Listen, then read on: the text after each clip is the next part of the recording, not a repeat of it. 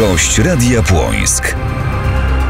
Katarzyna Żerdziewska, witam w audycji Gość Radia Płońsk, a dziś przed naszym radiowym mikrofonem rzecznik druh Ochotniczej Straży Pożarnej Ratownictwo Wodne z Nowego Dworu Mazowieckiego, pan Marek Karpowicz. Dzień dobry. Dzień dobry, witam serdecznie. Nie do końca wodniacy, tak jak ja was e, nazywam, bo strażacy, którzy pracują też dużo na lądzie. No tak, na wodzie to jest około 10-15% naszej y, jakby działalności.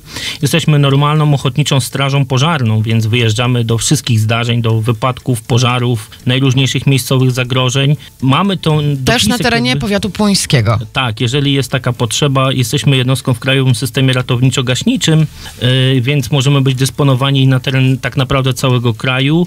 Tym bardziej, że posiadamy jako jedyna jednostka OSP na Mazowszu psa do poszukiwań na gruzowiskach, więc jeżeli nie daj Bóg doszłoby do jakiegoś zdarzenia, gdzie nie wiem, zawaliłby się budynek, byłoby podejrzenie, że są gdzieś tam pod nim, y, pod, tymi gruzami osoby jakieś, y, wtedy na pewno my byśmy przyjechali, wtedy by nasz pies właśnie szukał ewentualnie również drugi pies, który jest na Mazowszu w Warszawie, on też mógłby być, ale z reguły się uzupełniamy, więc na pewno byśmy mhm. byli na terenie też powiatu puńskiego, e, gdyby do tego doszło. Aha, o tę sekcję czworonożną też zapytam, bo za kilka dni wielki jubileusz, dziesięciolecie powstania waszej jednostki. Tak, 10 lat. Od e, początku pan jest związany z wodniakami? Yy, od początku jestem przy tej jednostce, członkiem mhm. jestem ponad 5 lat już tak oficjalnie, ale od samego początku jestem z nimi, byłem przy tym zakładaniu wszystko to... A skąd taka potrzeba, że taka jednostka w ogóle powstała? Bo, bo rzeki? Bo... W powiecie nowodworskim mamy trzy duże rzeki, tak? Mhm. Jest Wisła, Narew, Kra, jest tam bardzo dużo zdarzeń. Tak naprawdę to wyszło właśnie z takiego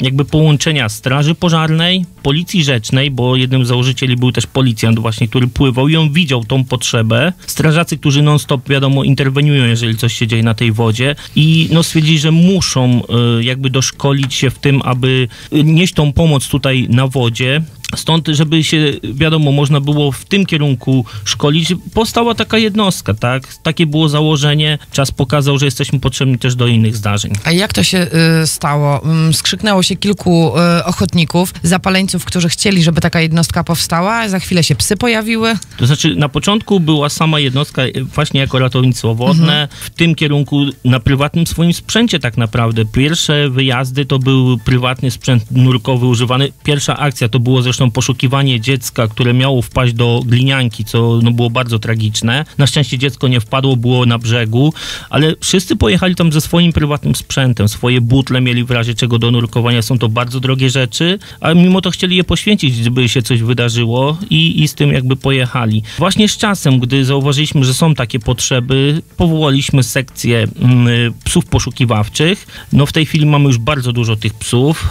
Y, mamy cztery psy, które posiadają uprawnienia do poszukiwania osób zaginionych w terenie takim otwartym. No i właśnie psa gruzowiskowego, który również jest dysponowany, był ostatnio w Radomiu, wcześniej był w Gostyninie, także jeździmy po całym Mazowszu. Można podejrzeć jego pracę w mediach społecznościowych, też czasem sobie patrzę. Tak, to... cały czas staram się, żebyśmy byli bardzo aktywni w tych mediach społecznościowych. Utrzymujemy mhm. bardzo dobry kontakt, mam nadzieję, bardzo dobry ze wszystkimi mediami lokalnymi. Na dziesiąte urodziny potrzebny nowy sztandar. Ruszyła jakiś czas temu zbiórka. E, udało się już uzbierać, czy tam jeszcze brakuje fundusze na to, żeby e, jednostka miała Zbiórka jest w trakcie. Z tego, mhm. co wiem, no nie jest za dużo tych wpłat na chwilę obecną. Ta zbiórka trochę jakby przystopowała przez ten konflikt, który powstał na Ukrainie, ale jak najbardziej pieniądze zbieramy. Do maja mamy czas. Sztandar jest zamówiony. Liczymy na to, że uzbieramy te pieniądze i 21 maja w Nowym Dworze Mazowieckim w Parku Wybickiego zostanie nam wręczony. Wcześniej Podczas obchodów święta. Dnia Strażaka w maju? Yy, tak nie, to będzie oddzielna impreza jednak. Aha. My robimy jakby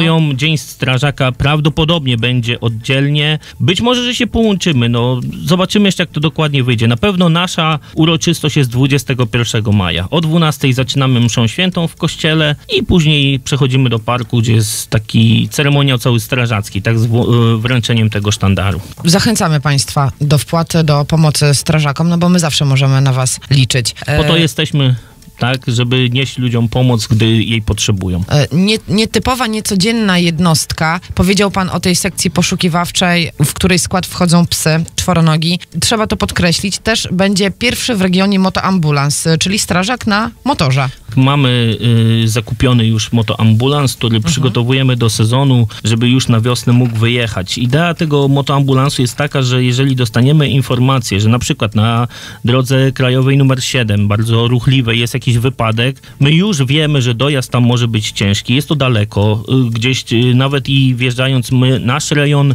y, chroniony jakby powiatu nowodworskiego wchodzi też w rejon powiatu płońskiego. Mamy na przykład y, miejscowość Kroczewo, do której też zastępy z Nowego Dworu jadą. Są pierwsze po prostu, chodzi o odległości. Taki ratownik wsiadając na ten motoambulans, mając przy sobie torbę R1, y, defibrylator AED, jest w stanie na pewno szybciej tam dotrzeć. Ten, ten ambulans, motoambulans będzie jechał bardzo szybko. Wiadomo, że też no, nie będziemy szaleć na nim, bo nasze życie i zdrowie jest najważniejsze, ale omijamy wszystkie korki, tak? Wóz duży, strażacki jadący, no musi czekać na to, aż niektóre samochody zjadą. Ten może bokiem, nie wiem, po pasie awaryjnym. Na pewno, na pewno i- idea jest taka, żeby dojechać jak najszybciej i to się powinno sprawdzić.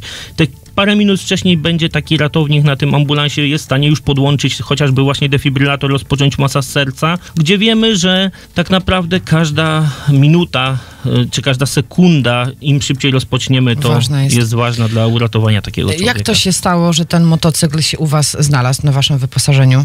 Y, Zakupiliśmy go po prostu.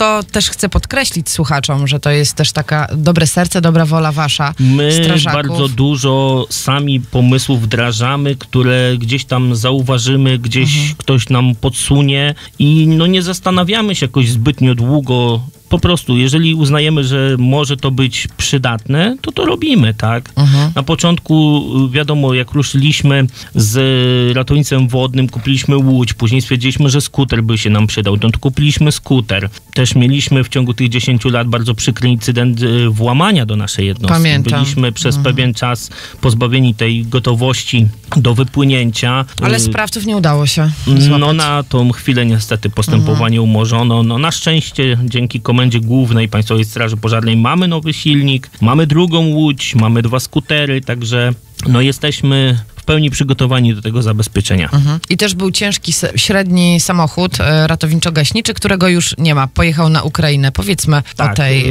y, dostaliśmy na samym początku naszej działalności taki samochód y, Star 266 z y, sąsiedniej jednostki OSP. Tam oni pozyskali nowy pojazd, więc im był niepotrzebny. My jeszcze wtedy nie mieliśmy samochodu gaśniczego, więc go dostaliśmy od nich. Stwierdziliśmy, że mamy teraz y, samochód gaśniczy, mały, bo mały, ale działamy w zabudowie miejskiej, gdzie jest bardzo duża sieć hydrantowa, więc te, taki duży samochód nie jest aż tak bardzo nam potrzebny. Też nie ukrywamy, że po prostu do takiego samochodu jest potrzebny specjalny kierowca. Musi mieć uprawnienia kategorii C. Nie każdy u nas to ma, a żeby zapewnić gotowość do wyjazdu, no to musielibyśmy mieć ich kilku, bo wiadomo, jeden pracuje, no to drugi mógłby pomóc wtedy i wyjechać. Dlatego stwierdziliśmy, że skoro jest możliwość przekazania go tam walczącym w cudzysłowie teraz strażakom e, w całym tym konflikcie, no to chcieliśmy go przekazać. No i udało się dzięki tutaj wsparciu pana burmistrza, załatwiliśmy wszystkie sprawy, żeby legalnie przejechać nim przez granicę, tak, musiał być oclony, musieliśmy wszystko w urzędzie skarbowym załatwić, żeby później nikt nam też nie zarzucił jakiegoś przemytu czy tym podobne, no i samochód szczęśliwie dojechał do Młynowa i będzie służył tamtejszym Wypa- strażakom. wypakowany po brzegi do tego. Tak, zrobiliśmy zbiórkę dla tych strażaków też, żebyśmy nie pojechali takim gołym samochodem. Był y, no, zapakowany całą pomocą humanitarną, bo to nie tylko były jakieś tam sprzęty dla strażaków, tylko też i normalne produkty, które mogą im się na co dzień przydać.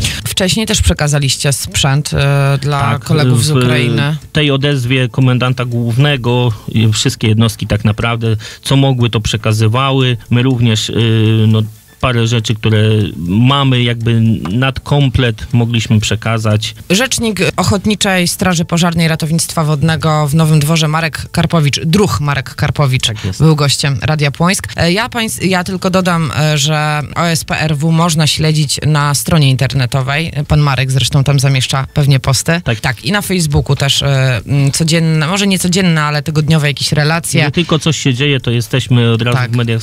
Chcemy po prostu informować, to nie jest nasze chwalenie się, ale pokazujemy to, co robimy, tak? Że jesteście dla ludzi, że można na Jak was najbardziej. liczyć. No i państwo, przypomnę, mogą państwo też pomóc w ufundowaniu tego e, Sztandaru, sztandaru. Nas, tak? na który Tak. bardzo serdecznie zachęcam do wpłacania. Jeszcze mamy ponad dwa miesiące. Dziękuję za rozmowę i za wizytę w studiu. Bardzo dziękuję, pozdrawiam wszystkich y, radiosłuchaczy.